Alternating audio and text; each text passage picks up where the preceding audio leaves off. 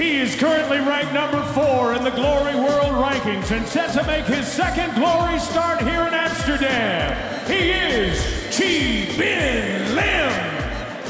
Dinner in Amsterdam. Glory 26 presents the second of our featherweight semifinals as Mosab Amrani meets Chi Bin Lim and here are the numbers. Former break. Both fighters, you know the rules. Break is two step back, stop is stop. Okay? Any questions? No question? Shake hands.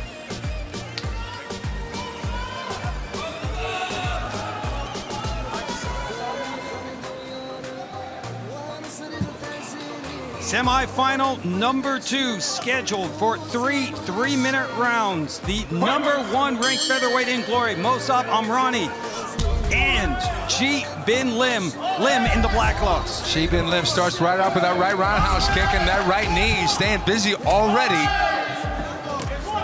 Yeah, Amrani's uh, decision was to switch stances on that. Quickly. yeah. Not working.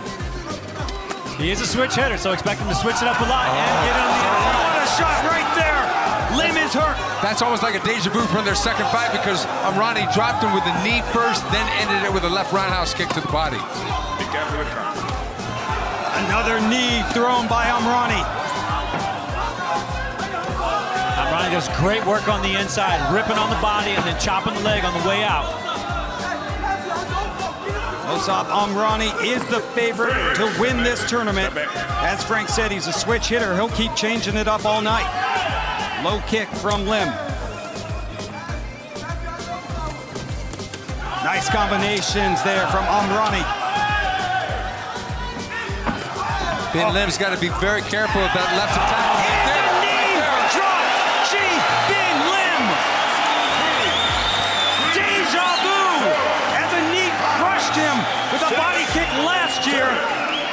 And Chi Bin Lim is on the canvas. He's back up. And Amrani pushed him back with the hands and set up that knee beautifully.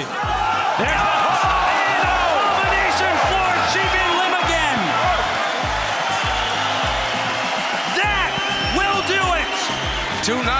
in the tournament, and you're out of there. What a performance by Mosab Amrani.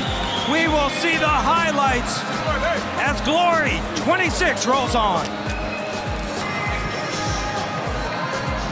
It was straight off a straight right hand, and that knee slid right underneath, and Lim went down. Oh, that's, that's painful, Frank. time. Yeah, and he's got him. He held him at distance with those hands. You talked about the right hand he was throwing, and he slid it right up the center.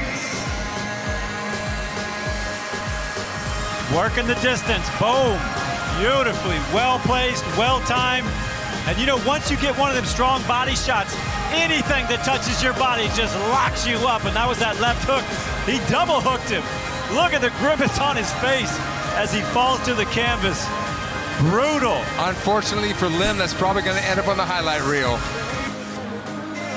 Well, this was the rubber match. Amrani will now take a two to one lead all time over Chi Bin Lim as we update the glory